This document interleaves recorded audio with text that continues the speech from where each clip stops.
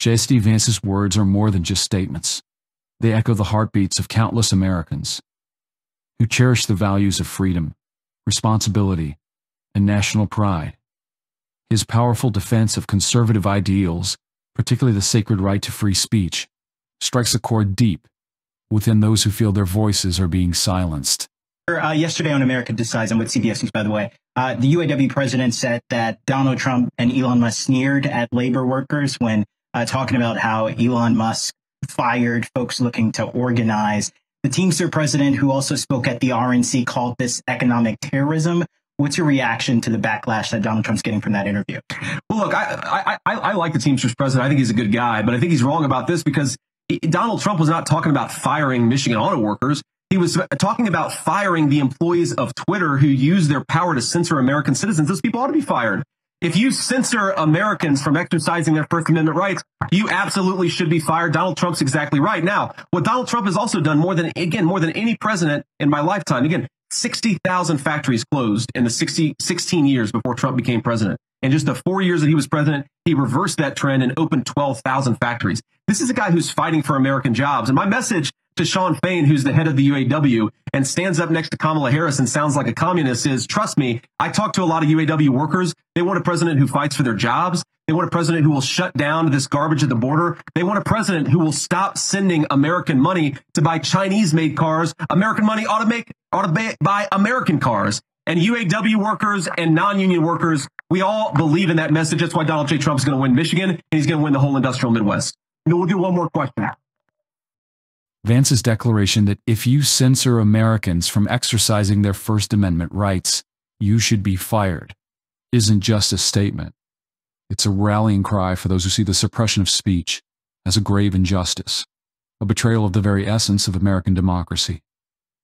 In a time when private companies like X, formerly Twitter, wield immense power over public discourse, Vance's insistence on protecting free speech resonates as a call to arms.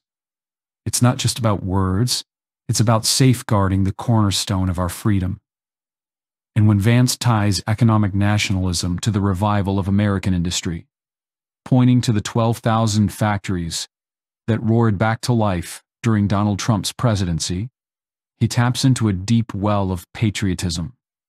It's a vision of America that stands tall and independent, no longer reliant on foreigners especially those from China. Vance's stance that those who censor should be held accountable is more than just a political position. It's a reaffirmation of personal responsibility and identity.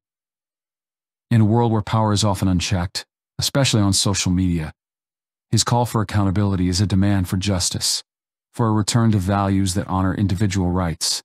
But Vance doesn't stop there. His advocacy for American workers isn't just works, it's real, leadership.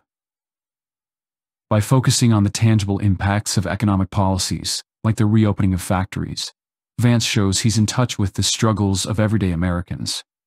He's not just talking, he's acting on the issues that matter most, proving that leadership is about more than just words.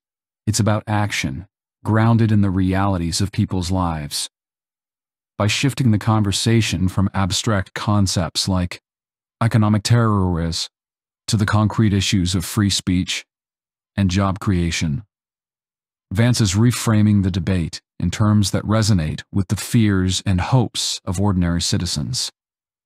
He's not just playing on these fears, he's addressing them head on, positioning himself as a true representative of the average American.